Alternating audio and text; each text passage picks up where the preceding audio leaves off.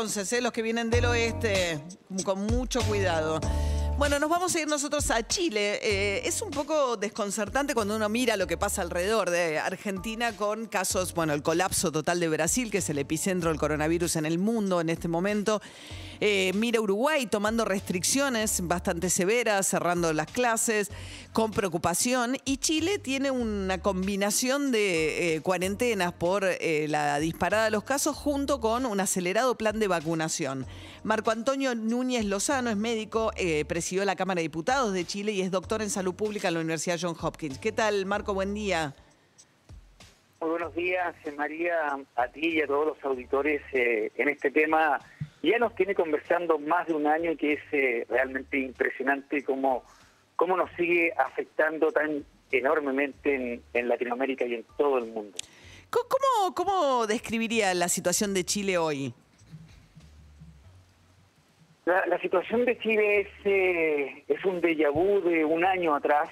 Eh, el día de hoy, en, no, hace pocos minutos ya, 24 comunas de, la región metropolitana del Gran Santiago van a ingresar a lo que se denomina fase 1 o cuarentena.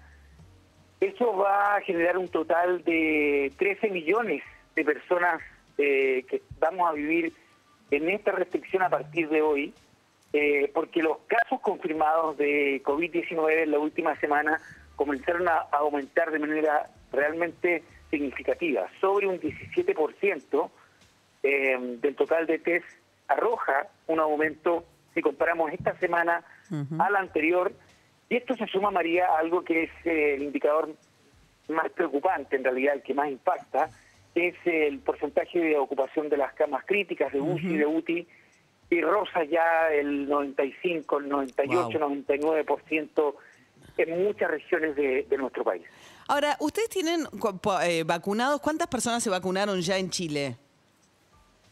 Sí, la situación de la vacuna eh, es completamente distinta al resto de Latinoamérica, podríamos decir, sin duda, y a la mayoría de los países del mundo, porque por diversas razones, al día de hoy, con eh, una, una dosis de, las vacunas que son de dos viales, de dos dosis, el 16% de la, de la población tiene a lo menos, es decir, tiene, tiene el 16% tiene la vacunación completa y casi un tercio, el 32 y fracción, tiene a lo menos una dosis en un tren que aumenta día a día de vacunación donde se espera en los próximos meses sin duda, en el mes de, de mayo, más tardar junio, tener vacunada a, toda la, población. Chile ha tenido la capacidad de negociar eh, más del casi el triple de, vacunas del total de la población. Son 90 millones de, dosis que están eh, concretamente en contratos firmados con distintas empresas de laboratorio, donde las que destacan son la de la China y la de y la de Pfizer. La China de eh, Pfizer y, y eh, eh Sinovac. AstraZeneca también. Ahora, la China, porque nos decía el otro día, le preguntábamos, porque el modelo de Chile o la situación de Chile con la vacuna también, digamos, genera preguntas en Argentina, ¿por qué Argentina no está logrando eh, esa provisión de vacunas? ¿no? Y los que nos decía el ministro de Salud de la provincia de Buenos Aires el otro día, David, eh, Goyán de apellido, es que Chile está dando una vacuna china que todavía no ha hecho público sus resultados en la fase de experimentación. Eh, es cierto, los resultados de fase 3 no se han publicado, si bien ya están, la mayoría se realizaron en Brasil, eh, y, esa fue la misma situación con la vacuna rusa cuando Argentina y otros países comienzan a comprarla. La publicación de los eh, resultados de la fase 3, que en resumen son experimentación para determinar su seguridad y que no tenga efectos secundarios, miles y miles de personas. los resultados hasta ahora son en realidad bastante aceptables, muy, buenos, porque lo que uno tiene que fijarse son qué capacidad tiene en evitar casos graves del cuadro de coronavirus. Y, la vacuna Sinovac eh, de China eh, tiene la capacidad de hacerlo en el 100% de los casos, donde reduce su efectividad en los estudios hasta ahora analizados en eh, los cuadros moderados y en los cuadros leves.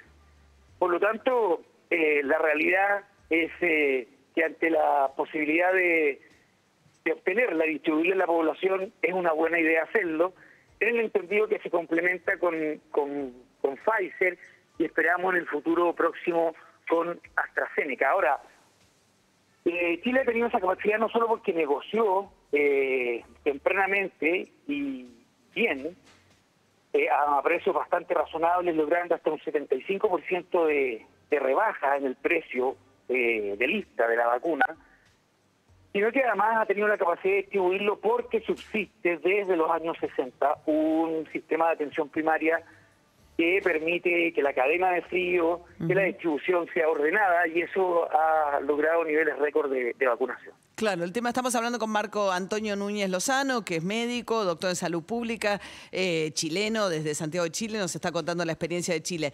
Lo que pasa es que también lo que logran es que, digamos, básicamente es que, que el suministro de las vacunas, que es lo más complicado de conseguir hoy, que se las entreguen efectivamente. Ah, no, sí. Eh, eh, tempranamente el, los negociadores definieron que eso iba, era posible que ocurriera, era una alternativa que está ocurriendo y por lo tanto mm. eh, se, se, lograron contratos con, con el triple de, de, vacunas que se requiere para evitar que el retraso de los embarques y de la producción no afectara un ritmo claro. eh, muy rápido de, de vacunación.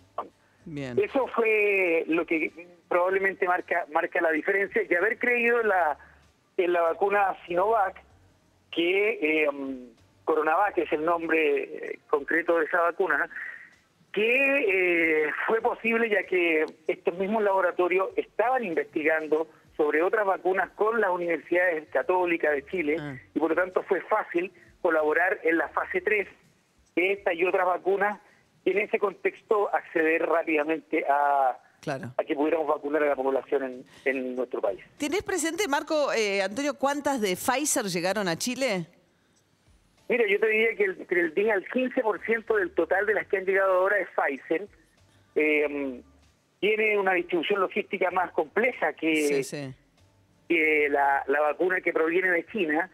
Y eh, el anuncio es que en las próximas semanas va a aumentar esa proporción y bueno, mm. eh, lo que nosotros, lo que se plantea desde el Ministerio de Salud es que ya muy pronto otras vacunas van a entrar al, a la posibilidad de, de distribuirse, uh -huh. particularmente aumentar lo que es Pfizer y AstraZeneca y en el futuro Johnson Johnson para la alternativa práctica de tener vacunas de una sola dosis. Claro, que evidentemente eso, sí. es mucho más rápido. ¿sí? Bien, Marco Antonio Núñez Lozano, médico, doctor en salud pública de la Universidad John Hopkins, desde Santiago de Chile. Muchas gracias eh, por este panorama.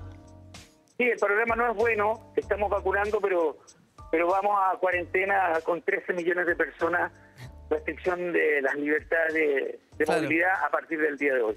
Muy buenos días, que estén muy bien. Gracias, eh, hasta luego. Bien, esa situación paradójica de Chile, ¿no? De un lado, cuarentena para 13 millones de personas con 95% de ocupación de camas. Por otro lado, viene muy bien con la vacunación. Eh, y bueno, Alemania iba a ir a confinamiento de cinco días en Semana Santa y Angela Merkel dijo, cuando uno comete un error, pide perdón, pido perdón, fue marcha atrás. Iba a prohibir incluso los, los oficios religiosos. Dicen que una cuarentena estricta de cinco días no sirve para nada eh, y de resolvió ir para atrás, pero está complicado Europa también con lo que ella llamó una nueva pandemia de la mano de las nuevas cepas mucho más contagiosas que son eh, por ahora en Inglaterra y, en Brasil, la de Manaus. Bueno, Flora Alcorta. Bueno, sigo con el tema.